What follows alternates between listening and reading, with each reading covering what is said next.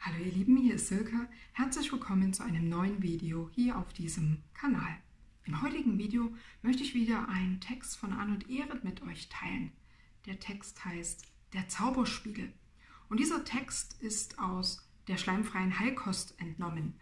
Diesen Text findet ihr auch hier im Buch Gesunde Menschen, Band 2.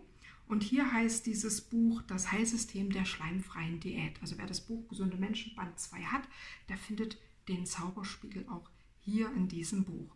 Die schleimfreie Heilkost gibt es auch als kostenlose PDF. Ich werde euch den Link dazu unter diesem Video verlinken und ich verlinke euch auch Gesunde Menschen Band 2, falls ihr lieber richtige Bücher möchtet. Ihr erfahrt jetzt also im Zauberspiegel in diesem Text, was der Zauberspiegel über euren Körper, über Krankheit euch ganz individuell sagen kann.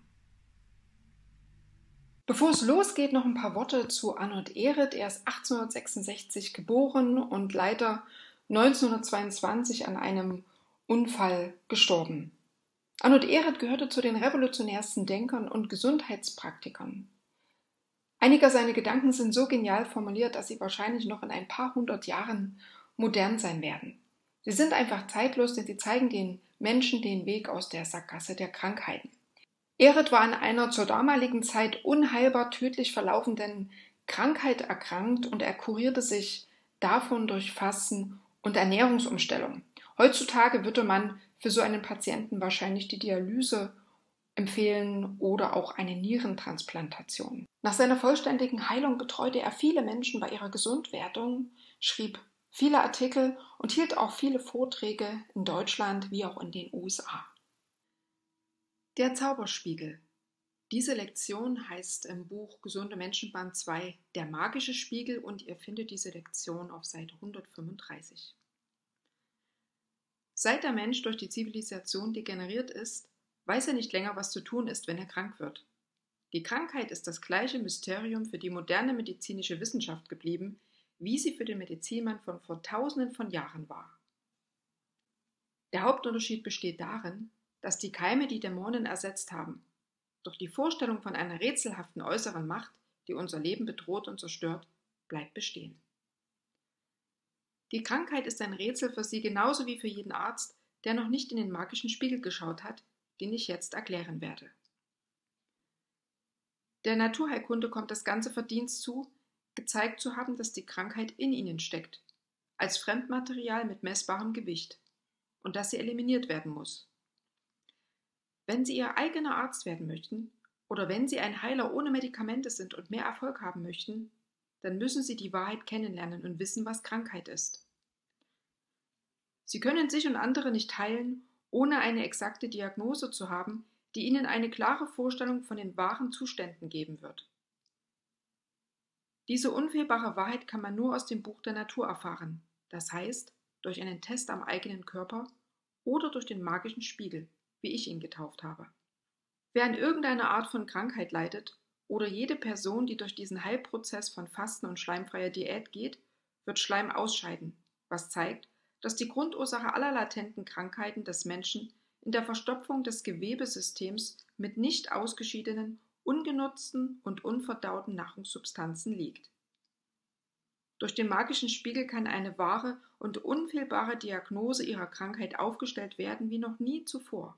Der magische Spiegel ist erstens Beweis, dass Ihr persönliches, individuelles Symptom, die Entzündung oder die Beschwerden, je nachdem wie Ihre Krankheit genannt wird, nichts anderes ist als eine außergewöhnliche lokale Anreicherung von Abfall. Zweitens. Die belegte Zunge ist Beweis für eine Verschleimung des gesamten Körpersystems, welche den Kreislauf durch Schleim behindert und verstopft. Dieser Schleim erscheint sogar im Urin. Drittens.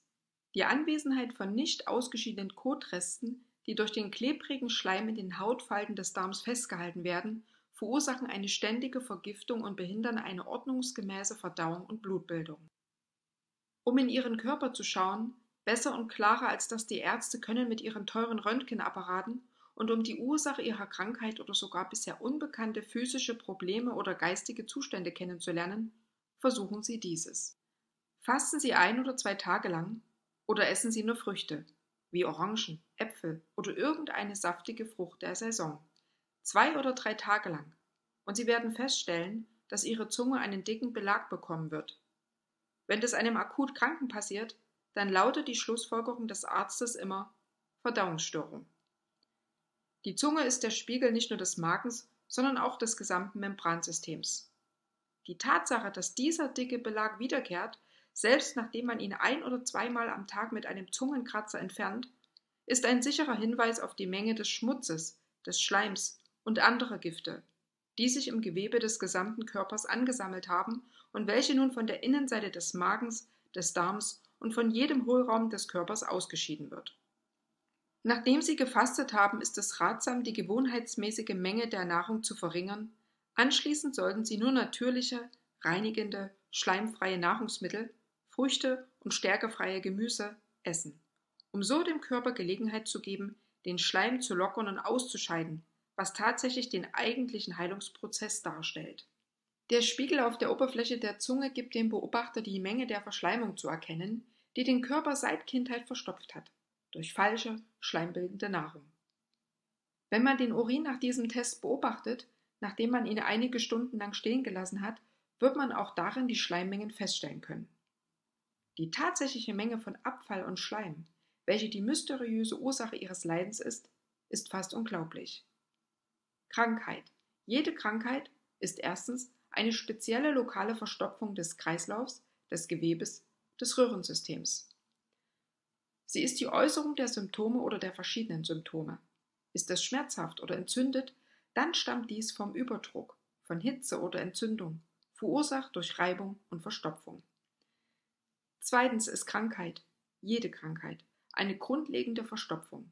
Das gesamte menschliche Röhrensystem, insbesondere die mikroskopisch kleinen Kapillaren, sind chronisch verstopft durch die falsche Zivilisationskost. Die weißen Blutkörperchen sind Abfall, und es gibt keinen Menschen in der westlichen Zivilisation, der schleimfreies Blut hätte und schleimfreie Blutgefäße. Es ist wie mit dem Ruß in einem Ofenrohr, das nie gereinigt wird. Ja, eigentlich schlimmer noch, denn der Abfall von Eiweißen und stärkehaltiger Nahrung ist klebrig. Der Aufbau des Gewebes, insbesondere der wichtigen inneren Organe wie der Lunge, der Nieren, aller Drüsen usw., ist sehr ähnlich wie der Aufbau eines Schwammes. Nun stelle man sich mal einen in Leim getränkten Schwamm vor. Die Naturheilkunde muss ihre Wissenschaft mehr und mehr vom medizinischen Aberglauben befreien, fälschlicherweise wissenschaftliche Diagnose genannt. Die Natur allein ist der Lehrer der Standardwissenschaft der Wahrheit. Sie heilt durch eine Sache, das Fasten, jede heilbare Krankheit. Dies allein ist der Beweis, dass die Natur nur eine Krankheit kennt und dass in jedem Körper der größte Faktor immer der Abfall ist, das Fremdmaterial, der Schleim, neben Harnsäure und anderen Giftstoffen und sehr häufig auch Eiter, falls die Gewebe zersetzt sind. Um zu erkennen, wie schrecklich verschleimt der menschliche Körper ist, muss man wie ich Tausende von Fastenden gesehen haben. Die fast unvorstellbare Tatsache ist, wie können solche Mengen von Abfall überhaupt im menschlichen Körper gespeichert werden? Haben Sie sich mal überlegt, welche Mengen an Schleim Sie während einer Erkältung ausstoßen? Und so wie es im Kopf aussieht, so sieht es auch aus in der Luftröhre, in der Lunge, im Magen, in der Niere, in der Blase und so weiter. Überall besteht das gleiche Problem. Und das weiche Organ der Zunge widerspiegelt auf seiner Oberfläche getreu das Erscheinungsbild jedes anderen Körperteils. Die Medizin hat eine spezielle Wissenschaft aus den Labortests, Urintests und Bluttests gemacht. Vor über 50 Jahren sagten die prominentesten Pioniere der Naturheilkunde, jede Krankheit ist Fremdmaterial, Abfall, ich habe schon vor 20 Jahren gesagt und wiederhole es wieder und wieder, dass dieses Fremdmaterial ein Brei ist, der von falscher Nahrung erzeugt wird, die sich zersetzt und sichtbar wird, wenn sie den Körper als Schleim verlässt.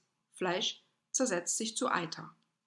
Das Licht der Wahrheit erleuchtete mich, nachdem ich gefastet hatte, gegen den Willen des Naturheilkundlers, der mich gegen meine Nierenentzündung behandelte.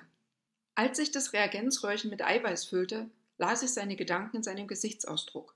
Aber für mich zeigte sich, dass die Natur ihren Abfall ausstößt, eliminiert, egal ob es Eiweiß, Zucker, Mineralsalz oder Harnsäure ist. Das ist nun schon vor 24 Jahren passiert. Aber dieser Naturarzt, ein ehemaliger Schulmediziner, glaubt immer noch daran, dass man dieses Eiweiß durch eiweißhaltige Nahrung ersetzen muss. Die medizinische Diagnose der Nierenentzündung wenn der chemische Test des Urins einen hohen Anteil von Eiweiß aufweist, ist auch für andere unverständlich. Die Ausscheidung von Eiweiß beweist, dass der Körper es nicht braucht, dass er überfüttert damit ist, überladen mit zu viel Eiweißmaterial. Anstatt nun diese gifterzeugende Nahrung zu verringern, wird sie fälschlicherweise erhöht, in der Anstrengung, das verloren gegangene Eiweiß zu ersetzen, bis der Patient stirbt. Wie tragisch ist es, den Abfall zu ersetzen, während die Natur uns zu retten versucht, indem sie ihn entfernt. Der nächste wichtige Labortest stellt den Zucker im Urin fest, Diabetes. Das medizinische Wörterbuch nennt ihn immer noch mysteriös. Anstatt natürliche Süßstoffe zu verzehren, die in das Blut übergehen, wird der diabetische Patient mit Eiern gefüttert, mit Fleisch, Schicken und so und hungert sich eigentlich zu Tode durch den Mangel an natürlichen, zuckerhaltigen und zuckererzeugenden Nahrungsmitteln, die ihm vorenthalten werden. Es ist schon vor langer Zeit gezeigt worden, dass all diese Bluttests insbesondere dieser Wassermann-Test, irreführend sind. Wir als Naturheilkundler können die Lehren der Natur in keinster Weise ignorieren, selbst wenn wir es schwierig finden mögen, alte Fehler aufzugeben, die man seit Kindheit in uns eingehämmert hat. Einer dieser irreführenden Fehler besteht darin, jede Krankheitserscheinung individuell zu bezeichnen. Der Name einer Krankheit ist nicht wichtig und wertlos, wenn man eine natürliche Kur beginnt, besonders durch Fasten und Diät. Wenn jede Krankheit durch Fremdmaterial verursacht wird, und das wird sie gewiss, dann ist es nur wichtig und notwendig zu wissen, wie stark die Verschleimung des Patienten wirklich ist, wie sehr sein Körper mit Fremdmaterial verstopft ist und wie sehr seine Lebenskraft gesenkt worden ist. Und im Falle von Tuberkulose und Krebs, ob das Gewebe selbst zersetzt worden ist, durch Eiter und Keime. Ich habe hunderte von Patienten gehabt, die mir gesagt haben, dass jeder Arzt eine andere Diagnose gegeben hatte und dementsprechend einen anderen Namen für ihr Leiden verwendet hatte. Ich überraschte sie, indem ich ihnen sagte, ich weiß genau, was sie haben, durch die Gesichtsdiagnose, und sie werden es selbst in ein paar Tagen im magischen Spiegel sehen. Die experimentelle Diagnose. Wie ich es bereits am Anfang der Lektion gesagt habe, müssen Sie zwei oder drei Tage lang fasten. Ist man ein dicker Typ, so muss man Flüssigkeiten während des Fastens zu sich nehmen. Die Oberfläche der Zunge wird das Aussehen im Inneren des Körpers deutlich anzeigen und der Atem des Patienten wird die Menge und den Grad der Zersetzung deutlich machen. Es ist sogar möglich zu sagen, welche Nahrung er bisher bevorzugt hat. Sollte man am Anfang des Fastens an irgendeiner Stelle Schmerzen empfinden, so kann man sicher sein, dass dies ein Schwachpunkt ist. Das Symptom ist noch nicht ausreichend entwickelt, um für die Ärzte mit ihren Untersuchungen feststellbar zu sein. Abfall wird im Urin deutlich werden durch Schleimwolken, und den Schleim wird man auch durch die Nase, die Kehle und die Lungen ausscheiden, sowie auch durch den Stuhlgang. Umso schwächer und schlechter sich der Patient während des Fastens fühlt, umso größer ist seine Verschleimung und umso schwächer ist seine Lebenskraft. Diese experimentelle Diagnose sagt Ihnen genau, worin das Problem liegt und wie es korrigiert werden kann, durch den Beginn einer gemäßigten Übergangsdiät oder einer radikaleren, und ob man das Fasten weiterführen soll oder nicht. Das Experiment ist die Basis, die Basis der Entwicklung der Wissenschaft, der Naturheilung, der Physik, der Chemie und so. Die Natur wird befragt und sie gibt stets und überall die gleiche unfehlbare Antwort. Falls der Patient nervös wird oder Symptome von Herzbeschwerden auftauchen, so kann man sicher sein, dass er Medikamente im Körper gespeichert hat. Ein schwindsüchtiger Patient beginnt bereits nach einem kurzen Fasten mit einer solch schrecklichen Ausscheidung, dass es für alle absolut klar sein muss, wie ignorant und unmöglich es ist, zu versuchen, ihn mit guter, kräftiger Nahrung wie Eiern und Milch heilen zu wollen. Diese hier gegebene Erklärung ist also die experimentelle Diagnose und sie ist die einzig wissenschaftliche. Sie können keinen besseren Einblick ins Innere bekommen als mit dieser einfachen Methode. Keine teuren Instrumente können auf exaktere Weise die genauen Bedingungen zeigen, die im Körperinneren vorherrschen.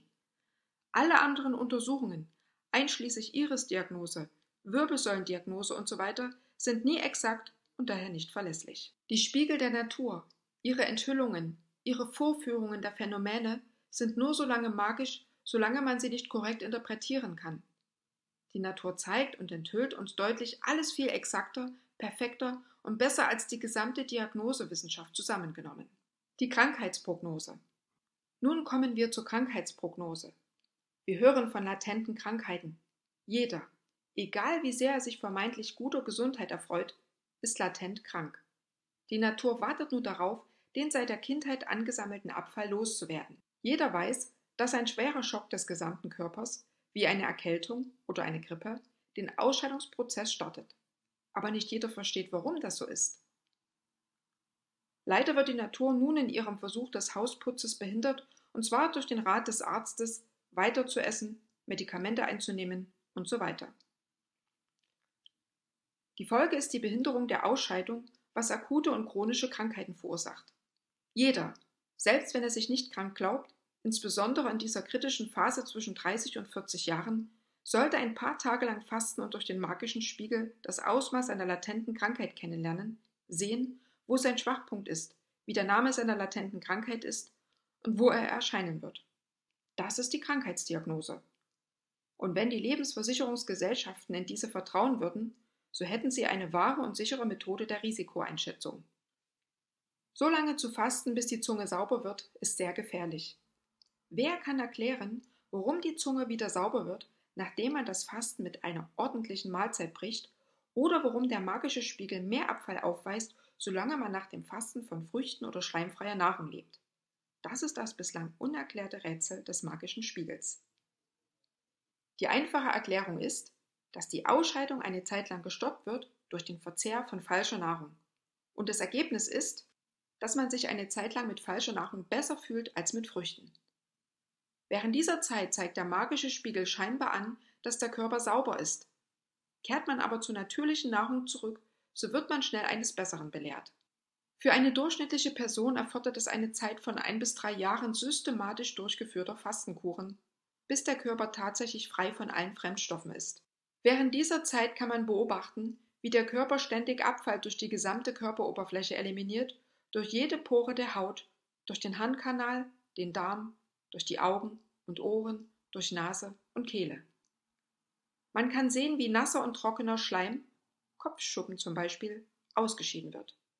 Alle Krankheiten sind daher Unmengen von Abfall, chronisch gespeichert, und durch diese künstliche Ausscheidung der chronischen Krankheit werden Sie mir zustimmen und erkennen, dass ich nicht übertreibe, wenn ich sage, die Diagnose Ihrer Krankheit und aller Krankheiten der Menschheit, geistiger und körperlicher, seit dem Beginn der Zivilisation beweist, dass sie alle eine Grundursache haben, egal welches die Symptome sein mögen. Es handelt sich ohne Ausnahme um ein und denselben allgemeinen und universellen Zustand, um die Einheit aller Krankheiten, das heißt um Abfall, Fremdstoffe, Schleim und seine Gifte. Die ewige Verschmutzung ist noch viel zu geschmeichelt gesagt, um diese chronische Verschleimung zu beschreiben. Unrat, Schmutz, Schleim, Gestank oder unsichtbarer Abfall ist eine wahre Beschreibung.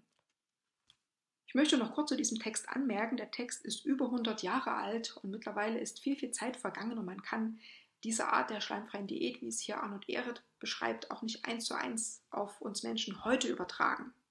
Ich habe ja schon einige Videos zur schleimfreien Heilkost gemacht, viele auch mit dem Henry vom YouTube-Kanal Henry Lob zusammen und wir betonen immer, wie wichtig es ist, langsam in die schleimfreie Heilkost einzusteigen. Am besten erstmal sich eine ganze Weile schleimarm zu ernähren, also auch Lebensmittel zu integrieren, die etwas schleimbildend sind und vor allem nicht zu viele Früchte zu essen und ein bisschen Vorsicht walten lassen bei zu vielen Früchten, weil heutzutage auch viele Früchte überzüchtet sind bzw. unreif geerntet werden. Wir weisen auch immer wieder darauf hin, wie wichtig bei dieser langjährigen Ernährungsumstellung bzw. Entgiftungsphase grüne Lebensmittel sind. Denn das in den grünen Lebensmitteln enthaltene Chlorophyll unterstützt die Entgiftung auf fantastische Weise. Er beschreibt auch am Ende der Lektion, dass eine durchschnittliche Person ca. ein bis drei Jahre mit systematisch durchgeführten Fastenkuren benötigt, bis der Körper frei von Fremdstoffen ist. Das kann man natürlich auch nicht eins zu eins auf heute übertragen.